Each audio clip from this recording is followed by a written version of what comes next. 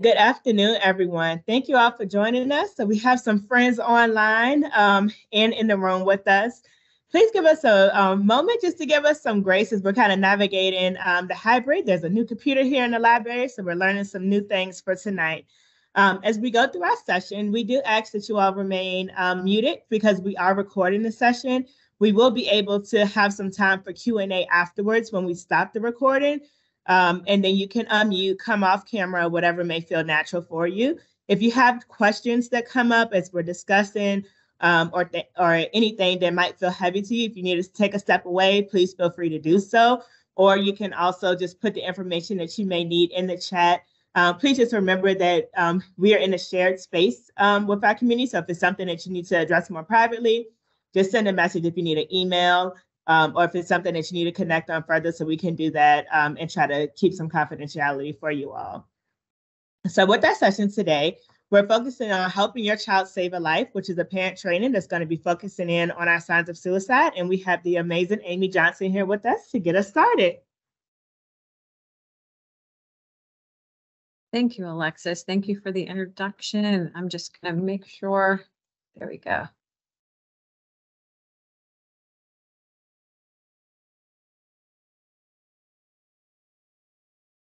Alexis, I'm having trouble. There we go. Now I went too far. So thank you, Alexis, for the introduction. We are so glad that you all are joining us in person as well as virtually. My name is Amy Johnson. I'm the School Mental Health Clinical Supervisor, and I am here with a team of folks that really help deliver the signs of suicide lessons um, in our school. So you'll hear from Nicole Scalea, our secondary school counseling specialist, Mark Brandenberger, who is our health, health, physical education, and uh, driver driver's education specialist, and then we also have have a licensed clinical social worker, Caitlin Priest, here from Henrico Area Mental Health and Developmental Services. So as with anything, we want to make sure that we're kind of showing the alignment and the connection to our strategic plan, which is Destination 2025, and how we really work to foster an inclusive, safe, and supportive climate for our all stakeholders. And that objective is really making sure that we have met our students' social and emotional needs.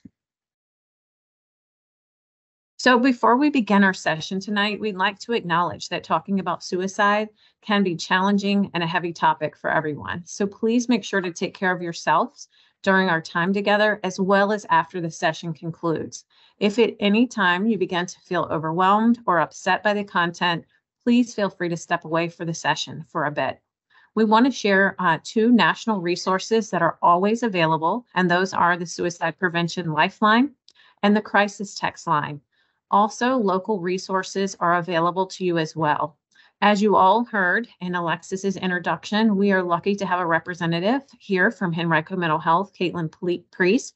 So please feel free to stay on after this call if you'd like the opportunity to debrief or decompress.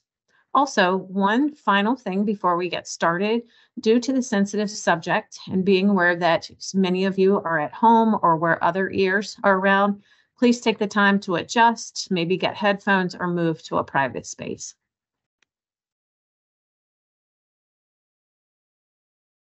I'd like to share just a brief overview of our time together. We're going to review suicide prevention basics, then move into an overview of the signs of suicide curriculum, which will include reviewing the acronym ACT and what that means and what to do if your child expresses thoughts of suicide of their own or regarding a friend. Then our health and PE specialist will provide an overview of what the SOS looks look like within the classroom. So hearing how the lesson is delivered and also how it ties into the existing health and wellness curriculum. We'll then discuss coping skills and ways to build our coping skills. And then we'll conclude with a community resource share out. At that time, we will end our recording so that we may take questions from the audience. So when we think about why suicide happens, there's multiple contributing factors. Of course, this list here is not inclusive of all factors, However, many times it really boils down to trying to stop the intense emotional pain that someone may be experiencing. With any of these factors, we want you all to know there is help and support available. Please do not think that you have to do this alone. It can be a very difficult experience to help someone that you love and care about when they're struggling with these feelings and emotions. So some of the factors that can contribute to this pain are untreated depression. So the majority of people who die by suicide have a mental health disorder, most commonly depression. These mental health conditions are treatable, but many young people struggle with getting help. When depression goes untreated, a young person may begin to feel so hopeless that they consider suicide. It may seem like the only way not to experience these intense feelings. One of the signs of depression can be isolating or withdrawing from peers and or family. So be aware if you begin to know if you begin to notice this taking place with your child. Drinking or drug use. So many young people who struggle with depression also struggle with alcohol and or drug use. Substances can substance use can be a form of escape from the pain. It's a temporary escape, and which we all know can lead to additional troubles, but again, it can be used as, a, as an escape. Be sure to talk to your child about the dangers of using alcohol, drugs, or substances in general to cope with these negative emotions. If you are aware that your child is using substances, again, please seek support. Access to guns. Suicide crises are often short term, but having access to a gun makes it easier to carry out in an instant. Many people keep unlocked guns in their home, making them easy to get, quick, and deadly for any young person. Reduce suicide risk by keeping your gun locked, unloaded, and or making sure that we're storing ammunition separately. Thoughts of suicide. So when someone has thoughts of suicide, it does not necessarily mean they want to die. Instead, the person is trying to solve the problem of the intense emotional pain and hopelessness. People generally don't want to die, they want the pain to stop. So, again, make sure that um, you're seeking support from a professional. So, there are many areas where we can intervene before someone reaches the point of considering suicide. When young people get treatment for depression or substance use, they can begin to feel much better and that sense of hope begins to return. Developing coping skills as well as, building connections with peers and adults can buffer young people during difficult times. We call these things protective factors. Protective factors are things that help us mitigate or reduce risk while also building and increasing the health and well being of our youth. So, all of you just being here present with us tonight, engaging in this really difficult topic, allows us to become a protective factor for a young person. Your help and support are so important and essential. So, now I'm going to turn it over to my colleague Mark to discuss how this topic connects with the work that his team in Health and PE are providing. Thank you, Amy. I'll allow you to adjust a moment to my PE voice. Um, I'm here representing the 180 health and PE teachers across Henrico County that every day spend time creating relationships with your students on a variety of sensitive topics.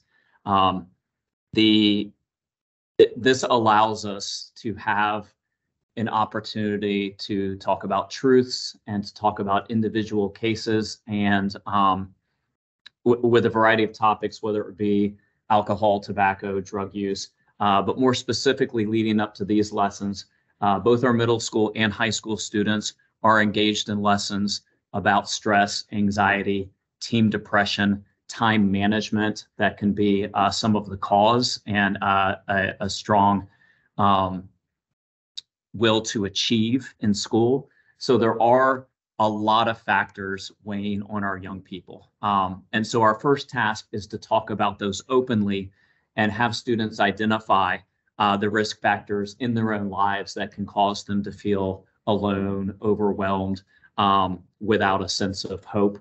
And so that allows us to create those relationships prior to these lessons so that as we're learning more about how to uh, recognize the red flags in relationships with our friends, the red flags in ourselves to look for, the students are able to either advocate for themselves or for a classmate. And we're going to talk about more about that a little bit later. Um, but we're really helping identify when is a time when I become worried that I should share that with someone else. Uh, and that worry should be taking our students to the trusted adults in their lives, which will more than likely include school personnel.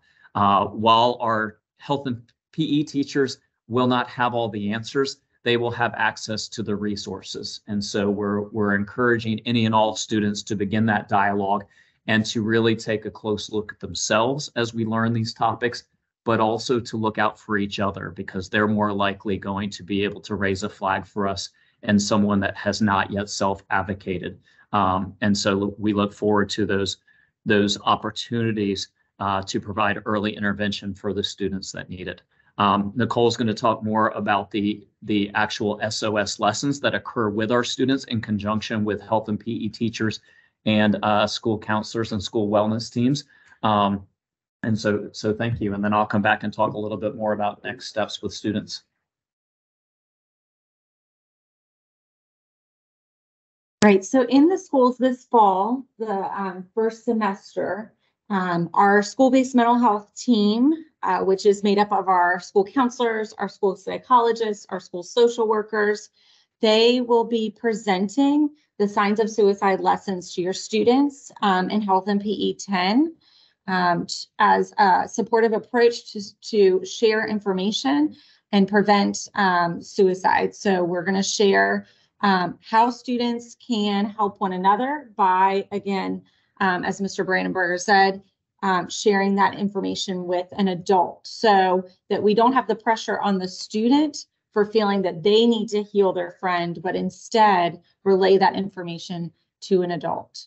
Um, so our jobs are to act, which means acknowledge a problem, care enough to tell a trusted adult that they can get their friend help, um, and our team's focus is for students to help a friend by not keeping their secret and telling an adult when they think a friend will not ask for help themselves. So that is the main goal is to be able to provide them the signs that they should recognize within their peers and their friends and be able to relay that information to a trusted adult.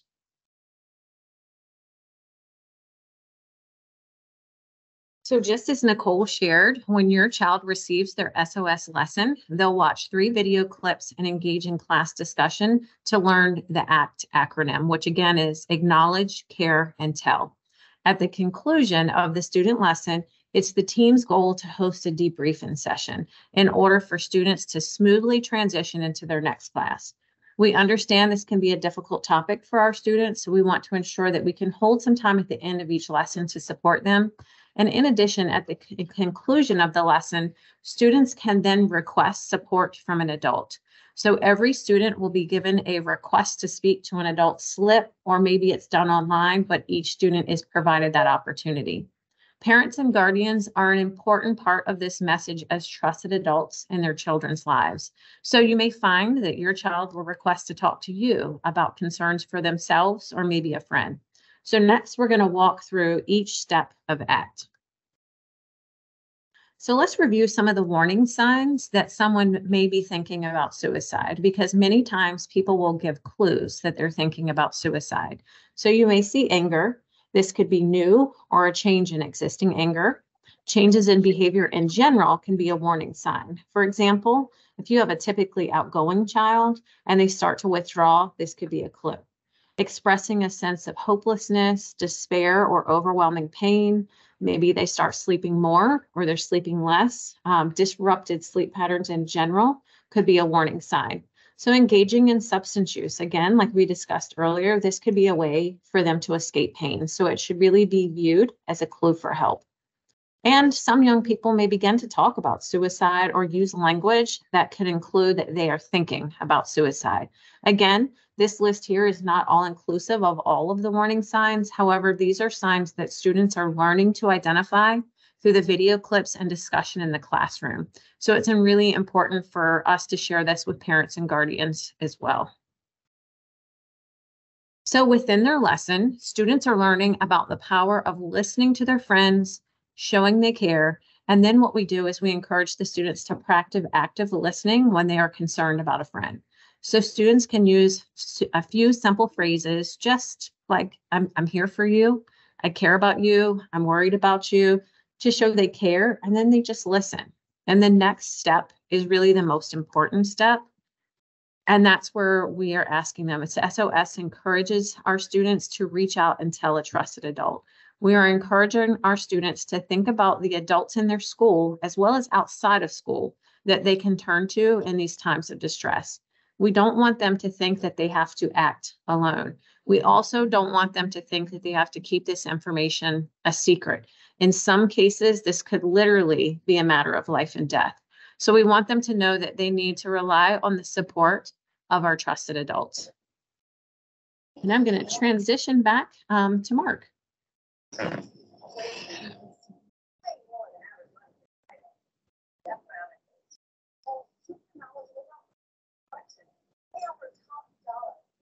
Thank you. Um, after the SOS lesson, your student may want to talk um, to an adult, a teacher, a friend, uh, about themselves or a friend. Uh, they, they may bring this information to you. You as a parent or guardian might be the trusted adult that the child's for a child's friend as well. Um, so do not be surprised if neighbors or uh, peers come to you with, with concerns or questions. If a child is concerned about a friend, us as parents should listen to the child's concerns and encourage them to seek help. Contact the friend's parents directly and share your child's concerns. Contact the school mental health staff or administrator so they can support the child or family. If they are concerned about a child's immediate safety, call 911 immediately uh, for assistance. We want to reassure the child that they did the right thing in coming to us, whether it's our child or another child that is bringing information to us. Um, and this will help us all work together to save a life. Thank you. Um, one of the things that we do uh, as parents is to help our children build coping skills. We want to encourage parents uh, to explore the things that do make students and, and teenagers happy about being themselves. Um, are we off by one? Yep. Okay, bless you. Thank you. We were. All right. Um, the uh, this is something that we do in identification through personal survey with students, finding out where their interests are, um, and getting them involved in those things outside of school. Uh, but inside a home, that may include things like playing or snuggling with the family pet. It may be escaping uh, into a good book or TV series.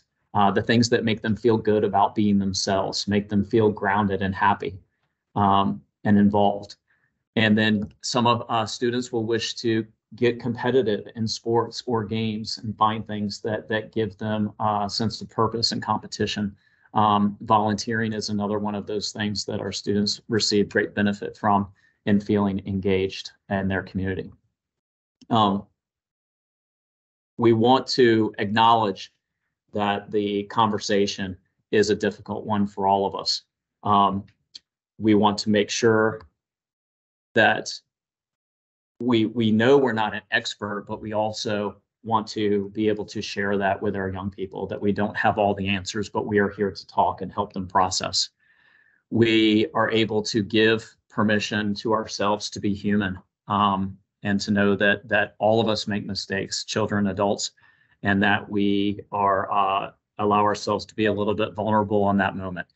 It's common to feel uncomfortable with this topic, even if you've had the conversation with others before and are skilled in it. It's still an uncomfortable uh, conversation, and it's okay to recognize that uh, with yourself and with the people that you're talking to. We want to talk to a supportive person beforehand and debrief after to make sure that that we are giving ourselves time to process the conversation that happened and reflect on that and be able to discuss it and find out if I need to have uh, further conversations or I need to revisit certain items that uh, I may or may not feel resolution with.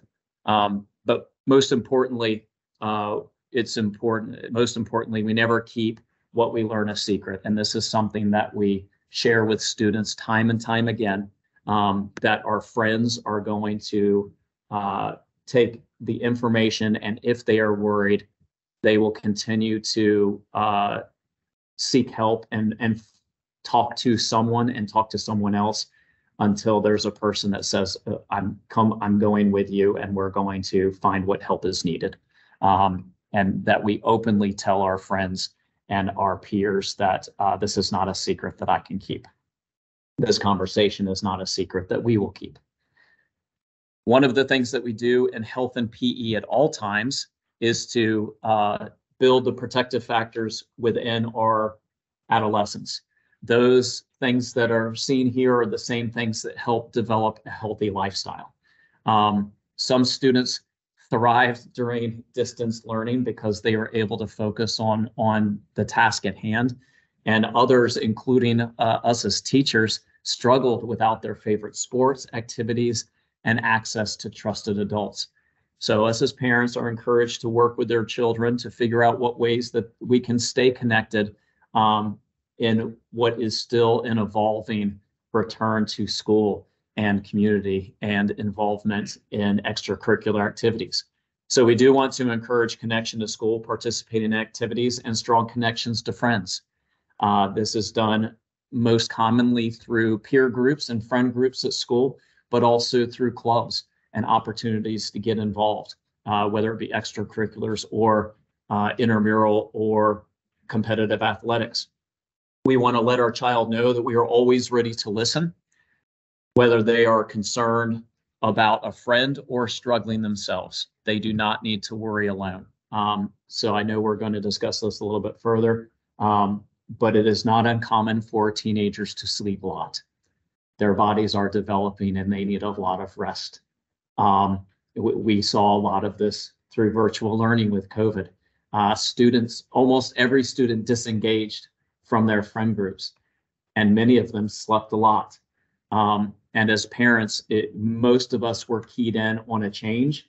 And we began to have discussions with our students, say, hey, is, is everything okay? I've noticed a distinct change. Um, and they were probably willing to talk to us and say, this is really hard and I'm really tired a lot, but I'm okay. Uh, but those were also those of us that said, I'm not doing well with this and I think I need help. Um, and so one of the things that we look in building protective factors is giving them opportunities to stay engaged and have other people to talk to if they need it. Uh, but the, these healthy factors also affect our hormone systems and our body systems that that help us to feel better regulated at times and uh, feel a little bit better with where we are in our place in the world. We are going to want to, and that's hopefully a good segue for some of the things that we're going to learn from Caitlin about um, how to talk to our team and exactly what we can do to support them. Thank you.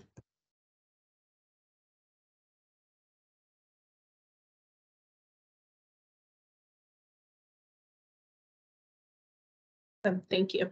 Um, so I am Caitlin Priest with Henrico Area Mental Health and Developmental Services. Um, so talking to your team, um, an important part of having your teenager know that they can talk to you about mental health is you being willing and open to talking with them about it. Um, so it's helpful to normalize the conversation because feelings of depression or anxiety may um, be hidden. Uh, depression is not a character flaw but it is a um, treatable condition.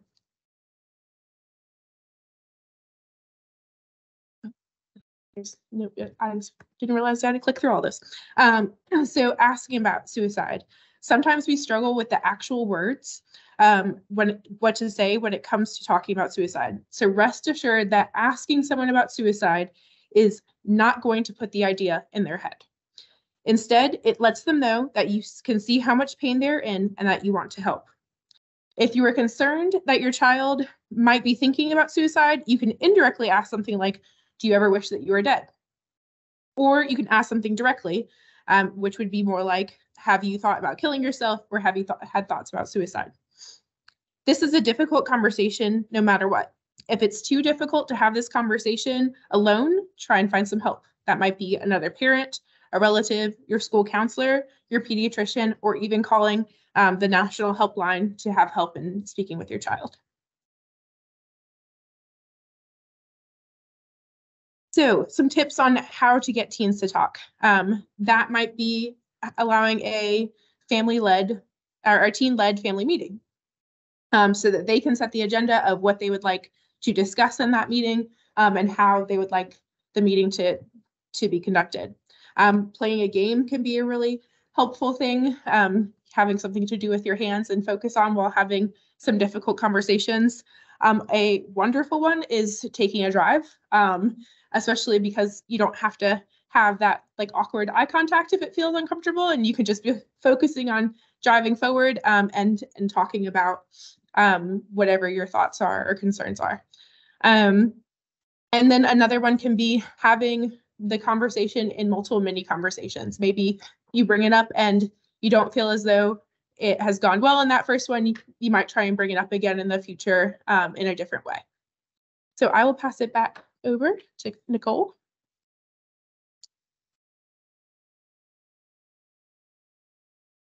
Right. Some action steps for parents to keep in mind um, include looking out for warning signs and seeking help immediately, helping to build coping skills and positive supports for your child, and talking to your child about suicide and being ready to listen when your child acts. While parents and guardians play an important role, they are not alone in their fight to prevent youth suicide. Our schools and communities must work together to support our students. This graph is a visual representation of the top two leading causes of death of teens. As you can see, over the past 15 years, our nation has dramatically reduced the number of teens dying in car accidents. And how do we do it? Safer cars, safer roads, increased driver's ed, strict licensing requirements for teens, increased drinking and driving laws, uh, next texting uh, while driving hands-free laws, and reduce speed limits. Now think about all the things we can do as trusted adults, whether it's parents, teachers, and school staff, to prevent suicide. At the top of this list is ensuring that parents and school-based mental health staff are partnering to keep our kids safe. If you're concerned about a child, please know that your school-based mental health team is here to support you and reach out to your child's school counselor or any staff member with which you feel most comfortable. Additionally, parents and guardians can access signsofsuicide.org backslash parent to learn more about youth suicide prevention, sample SOS student videos, and access online mental health screening and more. So this is where our um, school school-based mental health team members are using the lessons from Signs of Suicide um, for both middle and high school. Remember, if your child is showing any concerning signs, it's important to act. Acknowledge that you're seeing signs of suicide in your child, show your child that you care, and make sure that you touch base with a professional for extra support and guidance.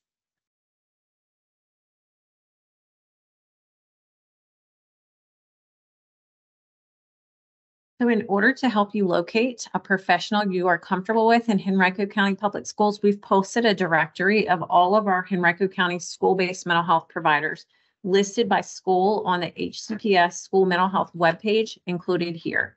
You can also locate this and more information at any time by scanning the QR code that's provided here. And then we have the website listed along the bottom as well.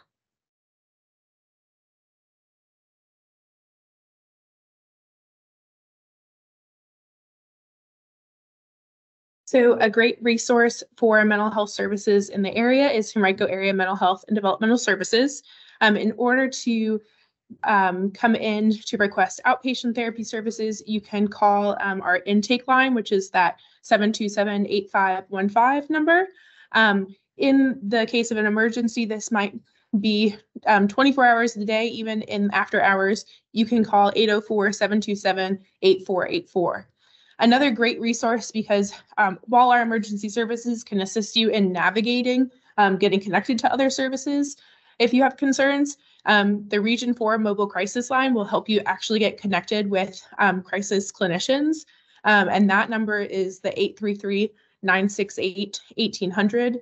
And now we also have our um, National Suicide Prevention Hotline, which is 988, which is a great number that even um, make sure our, our teens have so that they can call it if they have any concerns um, about themselves or others.